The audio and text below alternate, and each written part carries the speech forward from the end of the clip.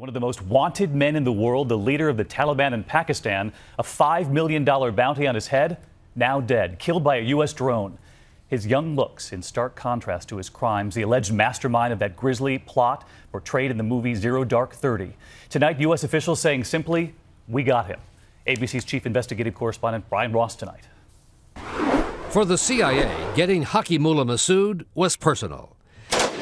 He was considered a mastermind of the attack that killed seven CIA officers at an Afghan outpost in 2009, as portrayed in the movie Zero Dark Thirty. Mehsud gloated over the CIA deaths and later released a video he made with the suicide bomber used in the attack. I think this was a very important strike. It kills the uh, leader of an organization that is a major threat to the United States. But he will be replaced. Only in his mid 30s, it was Mehsud who led the Pakistan Taliban to expand its reach to America. The foiled bombing in New York's Times Square in 2010 was organized by Mehsud.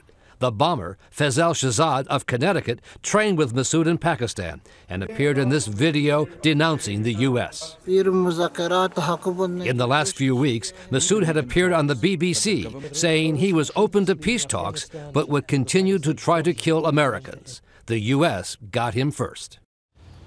Some U.S. officials say killing Mehsud with the drone attack is the most significant victory against terrorism since the death of Osama bin Laden.